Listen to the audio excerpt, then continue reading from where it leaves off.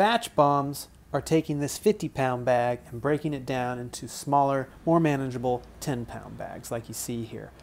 I'm going to be weighing out the batch in this stainless steel tub here and putting it into grocery bags and taping it up with a little packaging tape and you got to have batch of course.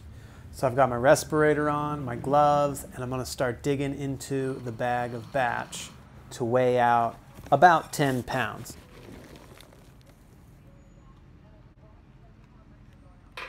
The advantage of making these smaller batch bombs is when it comes to charging, I don't have to weigh it out. I just throw it in the furnace and I go about my day. So there it is, about 10 pounds. And now I'm going to put it into this grocery bag and tape it up. Another advantage of having the batch bombs is that you don't have to pour the batch each time you put it into your furnace, which makes a bunch of dust and pollutes the air quality in your shop. You can also just throw the paper and the whole bag of batch right into the furnace, which helps keep the dust down as well.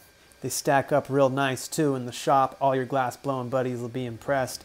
And when it comes time to throwing them into the furnace, you just stick it on your little batch chute like you would the regular powdered batch and throw it in, bag and all. All right, folks, thanks for watching. Subscribe below, chase your dreams, keep making art. Thanks so much.